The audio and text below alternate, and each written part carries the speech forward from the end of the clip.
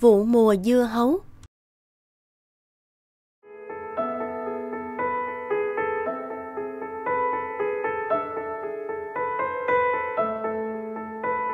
Các ông, các bà có cách gì hay vậy? Ruộng dưa bên làng ông bà lúc nào cũng cho bội thu. Quả nào quả nấy, Cứ to tròn ngọt mát là sao? Có gì đâu ông. Nhờ những hạt giống dưa tốt Mà chúng tôi lưu cất sau mỗi mùa đấy ông ạ. Chứ bà con bên làng chúng tôi cũng chỉ biết quanh năm chăm sóc như các cụ dạy thôi Thì ra là vậy Giống tốt mà cũng khác nhỉ Vậy các ông có thể bán lại cho chúng tôi một ít hạt giống đó không? Mùa bán gì, chúng tôi sẽ biếu các ông một số hạt giống tốt. Cả hai làng chúng ta sẽ có những quả dưa to, ngon, chín mọng. Ôi, quý hóa quá, xin thay mặt người dân làng tôi cảm ơn ông nhé. Ờ, không có gì.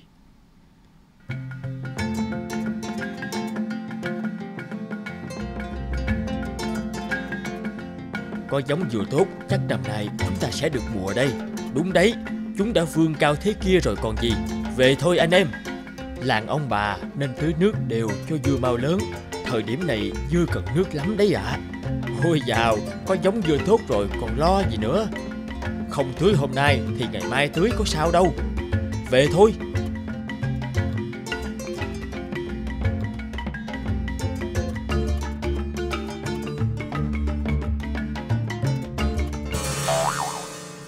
Khi nào làng bên kia cho mình giống dưa tồi không nhỉ? Tại sao cũng gieo trồng cùng một thời điểm, cùng một loại đất trồng, mà vườn dưa làng ta lại chậm lớn đến vậy? Chắc chắn đây là trò của làng bên đó rồi. Chúng suốt ngày cười vào mũi chúng ta bao mùa thất bát, giờ lại được dịp lên mặt đây mà. Này, tôi có cách này.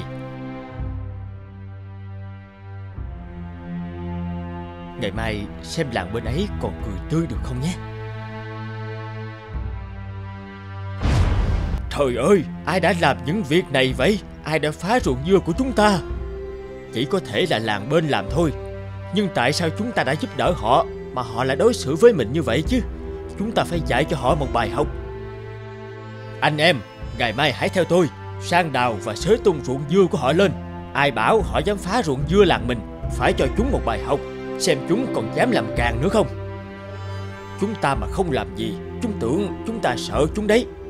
Đúng thế, để xem ai sợ ai, dù phải đổ máu, tôi cũng sẽ chiến đấu với chúng đến cùng. Khoan, khoan đã, chúng ta nên bình tĩnh mới giải quyết được vấn đề. Kìa trưởng thôn, ngài nói gì lạ vậy? Chúng phá bỉnh như thế mà ta vẫn để yên ư? Các anh không thấy sao? Nếu vì vấn đề này mà đi báo thù, thì chúng ta quả là kẻ tiểu nhân, hẹp hòi, thù vặt. Anh phá tôi để trả thù, tôi phá lại anh để rửa hận. Thù thù, oán oán, đến bao giờ mới giải được? Hơn nữa, nếu quá căng thẳng, mâu thuẫn nhỏ có thể phát triển lên thành thù hận, dễ dẫn đến đánh nhau chết người có thể. Vậy chúng ta phải làm sao để không để chúng thích làm gì thì làm được? Đúng vậy, không thể thế được. Mọi người hãy bình tĩnh, tôi đã có cách. Nè, tôi nghe nói đêm nay họ sẽ xử lý chúng ta đấy. Vậy sao? Sợ gì chứ? Chúng ta sẽ rình bắt quả tang. Nếu họ dám phá vườn của chúng ta thì xông ra cho họ một trận. Ừ, đúng đấy.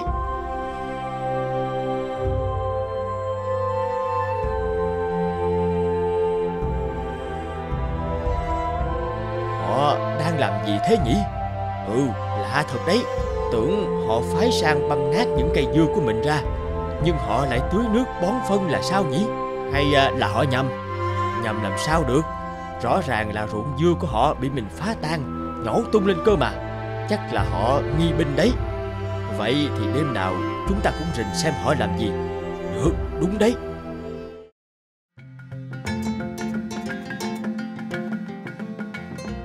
Dưa của chúng ta ngày càng tươi tốt, sáng mượt và sai quả quá. Trời thật là thương chúng ta. Mọi người nhầm rồi. Giờ chúng tôi mới hiểu rằng Ruộng dưa tươi tốt và cho sai quả như này Là nhờ cả vào người làng bên giúp đỡ. Tại sao lại là họ? Các anh nói gì ờ, tôi không hiểu. Trong khi rình và theo dõi họ để phá ruộng dưa, Chúng tôi thấy họ đêm nào cũng tưới nước, Bón phân cho ruộng dưa bên họ Và phát hiện rằng họ tưới luôn cho bên mình. Lúc đầu chúng tôi nghĩ họ lại định làm trò gì, Nhưng càng ngày càng thấy ruộng dưa phát triển tươi tốt. Chúng tôi mới hiểu rằng Họ thật sự là những người hàng xóm tốt. Thật vậy ư? Vậy mà chúng ta lại nỡ đi phá ruộng dưa bên họ Và nghĩ xấu cho họ. Thật xấu hổ quá. Chúng ta bầu sàng cảm ơn và xin lỗi họ thôi. Xin cảm ơn ông và mọi người trong làng Đã bỏ qua lỗi lầm và giúp đỡ chúng tôi. Có một số quả dưa bội thu lần đầu tiên. Ờ, Xin biếu mọi người ăn thử. Ồ, dưa đẹp quá. Có sức người sỏi đá cũng thành cơm. Không có lao động. Sao có thu hoạch được? Phải không mọi người? Nếu không có sự điềm đạm Nhìn xa trong rộng Và biết kiềm chế Thì con người sẽ chỉ đi vào bế tắc Và gây tổn thương lẫn nhau. Hành vi lấy ân báo oán Sẽ mang lại kết quả tốt đẹp. Chúng ta nên noi theo. Người mới ra tù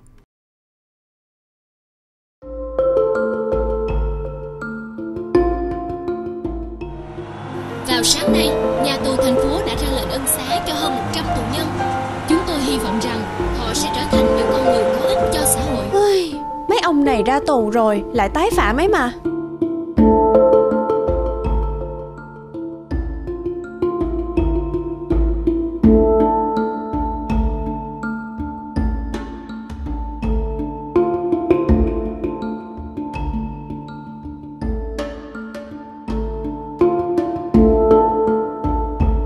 Alo, bác John ạ. À?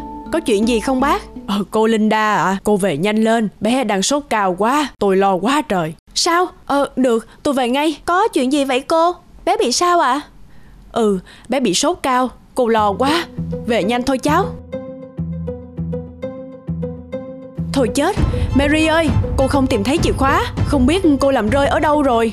Cô tìm kỹ lại xem nào. Hay là trong túi áo khoác? Không có. Ôi, Cô lo cho bé quá à Mà ở đây lại không có người để giúp. Phải làm sao bây giờ? Hay là cô ờ, để trong ví rồi? Không có. Lúc nãy cô trả tiền đồ có thấy đâu. Hay là cô cháu mình tìm thử xem xung quanh coi có rơi ở đâu không? Vậy cháu tìm phía bên kia. Cô tìm xung quanh đây xem có không nhé.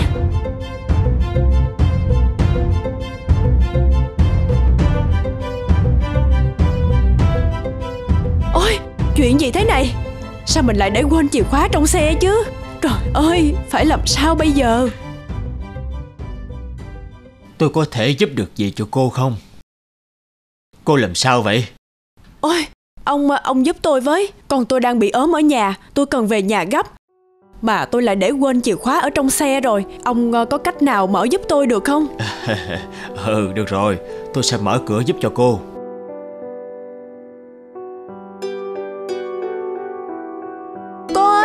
cháu tìm hết siêu thị rồi mà cũng không thấy chìa khóa đâu hết.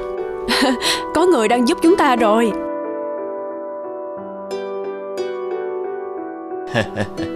Chìa khóa của cô đây Lần sau cô chú ý Đừng để quên như vậy nữa nhé. À, à, Rất cảm ơn ông. Ông thật là một người tốt Không có ông á Cô cháu tôi không biết làm thế nào. Cảm ơn cô Nhưng tôi không được như cô nói đâu. Tôi vừa là người xấu đấy. Ông, ông nói sao vừa là người xấu. Ừ phải. Tôi đã ở tù một năm qua Vì tội trộm cắp ô tô. Tôi vừa mới được ra tù sáng nay. Sáng... sáng nay ư? Đúng vậy Một năm qua tôi đã hiểu ra nhiều điều. Tôi nguyện sẽ làm lại cuộc đời. Nhất định tôi sẽ làm một người tốt. Tôi đã tự hứa với lòng mình Là sẽ không bao giờ dùng cái móc khóa này mở cửa xe nữa nhưng tôi thấy nó là việc tốt đầu tiên cho quãng đời còn lại của tôi nên là tôi làm. Chắc chắn không bao giờ và cũng hy vọng không bao giờ tôi phải giúp ai bằng cái móc khóa này nữa. Thôi, chào hai cô cháu, tôi đi đây. Đấy, cháu thấy đấy, không phải ai ra tù rồi cũng đi theo con đường xấu đâu. Ông ấy là một người tốt và nhất định sẽ trở thành một người tốt.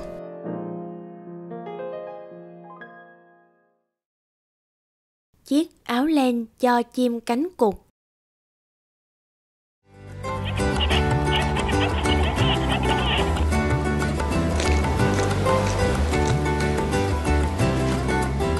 Sách kia, con xem ba này.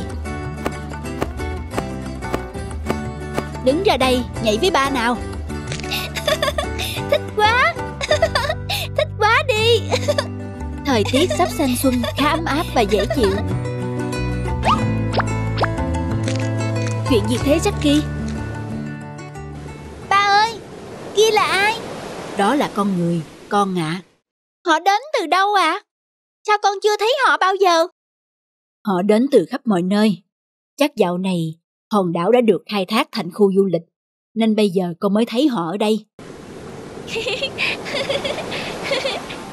Trên người họ có những thứ đồ sặc sỡ quá.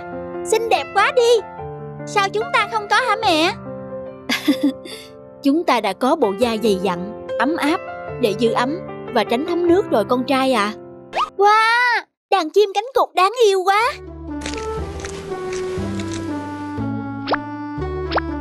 Ba ơi Họ có làm hại mình không ba? Không đâu Những người này thì không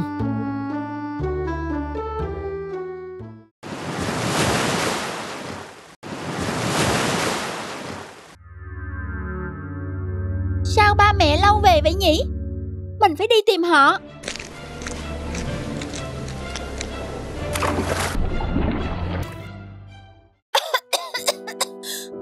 Con lạnh quá. Lạnh quá mẹ ơi. Sao cái này nó cứ dính chặt vào người con? Đừng Jackie Con không được nuốt thứ ấy. Nhưng con lạnh lắm, Đói nữa. Ba mẹ có mang gì về ăn không? Chúng ta định bơi ra xa để kiếm chút thức ăn mang về cho con. Nhưng vì cả người dính dầu, Nên không thể giữ được ấm. Nước buốt lạnh quá, Nên chúng ta đành quay về. Con người, Tất cả là tại con người.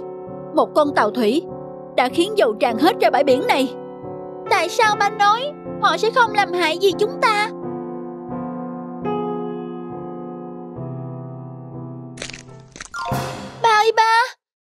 Làm sao thế này? Còn sao nữa? Tại các người hết cả. Trời đất, Lũ nhỏ bị dính dầu rồi. Lớp dầu dính chặt, Khiến chúng bị lạnh và bị ốm con ạ. Khi chúng dùng mỏ lau lớp dầu đi, Còn có nguy cơ bị nhiễm độc nữa. Chúng ta nên làm gì bây giờ hả ba? Tội nghiệp chúng quá. Để ba liên lạc với quỹ bảo vệ động vật, Có lẽ họ sẽ giúp được gì chăng? Áo này sẽ tạm thời bảo vệ mày cho đến khi nào mày bình phục hẳn. Nó sẽ giúp mày giữ ấm và không nuốt phải dầu độc hại đâu. Ôi chao, đáng yêu ghê. Các anh chị ơi Em cũng muốn góp một chiếc áo Em đã nhờ mẹ em Đang hộ từ đêm qua đó ạ Đẹp quá. Mọi người, chiến dịch góp sức đàn áo len cho chim cánh cụt.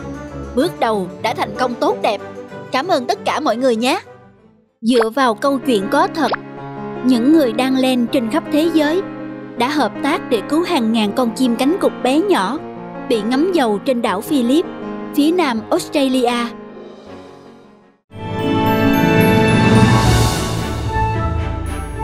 Hãy like, comment, subscribe kênh để xem thêm những video mới nhất nhé